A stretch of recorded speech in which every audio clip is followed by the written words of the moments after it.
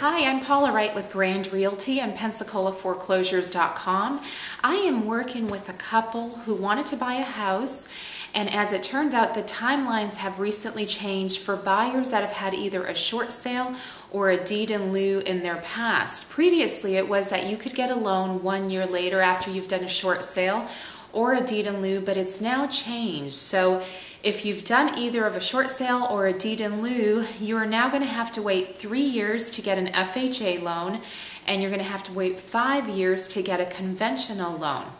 Um, also working with another couple whose house went into foreclosure and they were renting it back from the bank. It's been about a year or two that they've been renting it. So they figured that enough time had passed where they could go out and purchase a home.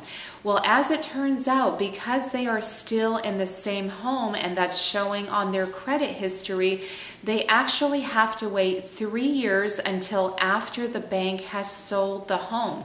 So if you're thinking of renting back your own home from the bank, you may want to reconsider because your timeline will not start until you are actually out of that home. I'm Paula Wright with Pensacola Foreclosures. Call me if I can help you with anything.